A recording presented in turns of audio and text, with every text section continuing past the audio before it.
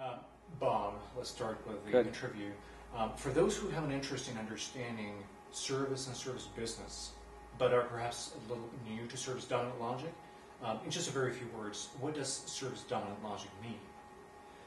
Service dominant logic um, is a perspective for looking at everything around us, actually, in terms of not only business activities, but society and the world in general, and recognizing that we're all here to serve one another through our competencies and skills and capabilities and that at some point we realized in our human evolution the way to do that is through a division of labor and even the word labor suggests physical labor. It's really a division of competencies and so as we sit here in italy italy has some uh, wonderful wines and you know the wine grower and winemaker in italy at some point realizes the best way to get that switch watch is not to learn about watchmaking but to really develop his or her competencies and skills in growing grapes and the whole process of wine making. But similarly, the watchmaker in Switzerland who loves to drink wine realizes it's probably best not to kind of figure out the wine and tilling the soil and cultivating it, but to specialized in uh, the watchmaking. And then we exchange, and over time, what happens are there's uh, intermediaries that develop. In part, the tangible goods the intermediate because the skills and competencies of the of the watchmaker is embedded in that watch, and in the wine, the skills and competencies and the knowledge has developed over hundreds, if not thousands, of years. But but it's really much bigger. It really is a very in part it's evolutionary, but in part it's really revolutionary, and so you start to view uh, even planet Earth as an ecosystem that's delivering service. I live in Arizona. Arizona is very hot uh, for a considerable length of time. We have cooler winters and falls, but it's very hot. And I was teaching an executive class recently and mentioned to the executives because it was very hot out, it was in the summer. And somebody had brought up the uh, topic of energy. We had a really big spike about uh, 12 months ago in energy prices, and in U.S. dollars, a barrel of oil went, I think, as hard, high as $150, very high. I made the comment. I said, "We really don't have an energy uh, problem. We have an energy problem. We have too much energy. Well, we don't have too much energy. No, we have all these like sh- energy shortages, and, and you know we see these rising prices of oil."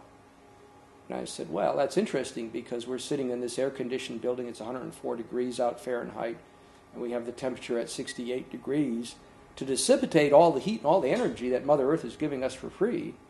And then we're using carbon fuels to kind of dissipate that and so on. So if you look at trees planted near a house, provide shade, uh, planted on a hill, if you figure out uh, the right way to irrigate and plant, you avoid erosion. Uh, the Panama Canal after it was built because they had to tear up a lot of vegetation. You know, you kept on having sediment going into the canal, and they kept on trying to engineer it. And then they realized, well, gee, if we replant it and water it right, then like nature will take care of that. So really, nature provides a service. You know, I, I frequently like if it rains and you have a shortage of rain, every time it rains on your city, if you could kind of measure the rainfall uh, over uh, you know, thousands and thousands of hectares or acres or whatever area of land you want to measure for the people. Said, now if I had to buy that from the municipality, the water municipality in, in, in Rome or Tucson, it would cost a fortune.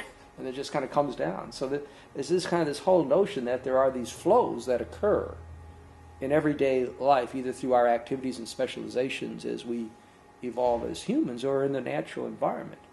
So then how can we think about business? How can we think about society? How can we think about government in that particular way? So it really, you know, we, we view everything as service business. So for, for the practitioner in the audience or doctor student that had practiced, now they're coming at and getting a PhD, it, it's much more than services marketing, but it's kind of service as the fundamental flow that occurs in society.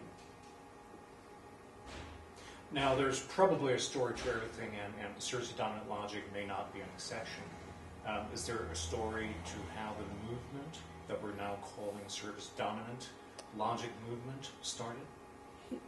Well, there is. You know, every logic or philosophy or theory has a history.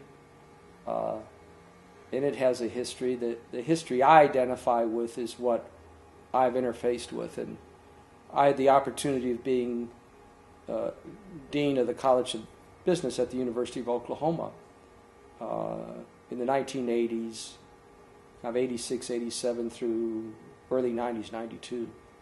Uh, and uh, towards the end of that tenure, uh, we had a very successful business person apply to the doctoral program. And of course, you know, you there's a bias in science. Kind of science favors youth and being a little bit naive and willing to kind of listen to the professor who's the expert. And so uh, Stephen Vargo uh, was applying to the program. Steve and I have written now a lot, as everybody's aware. Uh, but he was stubborn, and he insisted, and so I took him on, and uh, we started to work together.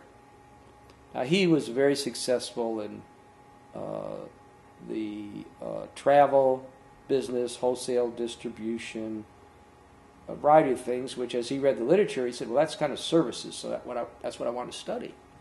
And so he went and he read, and he read Christian Grönroos and Evert Gummesson, and went back and read Adam Smith, and everybody had talked about services, even philosophers. I mean, Aristotle talked about uh, the, the services that people had provided and the role of merchants and middlemen. They were providing services, they weren't providing any value. So he went and read and read and read. My area was primarily distribution, logistics, warehousing, retailing, moving stuff. A lot in the food industry, the hardware industry, and so on. He came to my office one day and he said, Well, Bob, he said, it occurs to me that my interest in services really ties really well with what you're doing in distribution. And, and we talked and we went to dinner. And uh, I said, Well, that's really interesting because since you've taken this interest, I've been kind of rethinking some of my ideas. And it, it, thoughts kind of increasingly occurring to me that you know, tangible goods are really distribution vehicles. They help to provide service. And I'd worked a lot in the industrial area, so you have a new automated warehouse or forklifts, it's capital equipment, but it's replacing labor service, or you have labor service with it that kind of creates something else. And so we start to explore those uh, ideas. And then uh, towards the end of his uh, term uh, in the doctoral program, we had this wonderful draft of a manuscript, uh, and uh, it actually parts of it started out in a history of management class from Professor Wren, from Dan Wren, uh, and uh, I had just become now I was no longer dean, and I had become the editor of the Journal of Marketing. Well, the the American Marketing Association has a policy, which is probably a good policy, that the editor can't select uh, his or own her own articles to publish. Probably makes sense. Of course, the way you become editor is you become well known, but then you can't publish in the journal. Uh, and so I mentioned to Steve, well, we could submit this to another journal. But as we talked about it, we thought, you know, really, it, if we could publish the article in the Journal of Marketing, it would have a much broader impact. People, because people, and I don't think this is right, but they would take it much more seriously because really what we were challenging was largely a lot of North American thinking.